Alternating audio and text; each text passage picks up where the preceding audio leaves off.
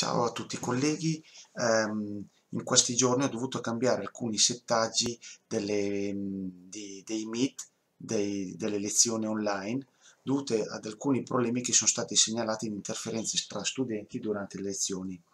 Questo fatto ha risolto da un lato molti problemi e eh, dall'altro uh, alcuni eh, pochi, a dire la verità, colleghi riportano altri problemi di altro tipo allora, eh, confrontandomi con gli altri animatori digitali, abbiamo eh, scoperto che si può risolvere gran parte dei problemi rigenerando il link di Meet dei propri Classroom, che è questo link che vedete qua.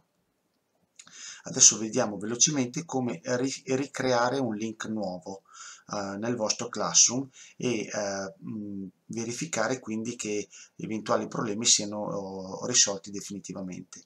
Andate sulle impostazioni del vostro Classroom, scendete alla sezione Meet, questa, poi cliccando sull'indirizzo reimpostate, tenete presente che questo ad esempio finisce con RTD, reimpostando si genera un nuovo codice che finisce con AQ5, ovviamente visibile agli studenti. A questo punto, se voi salvate e eh, tornate alla, alla, alla, al vostro corso, vedete che finisce con AQ5, quindi avete rigenerato il link di Meet.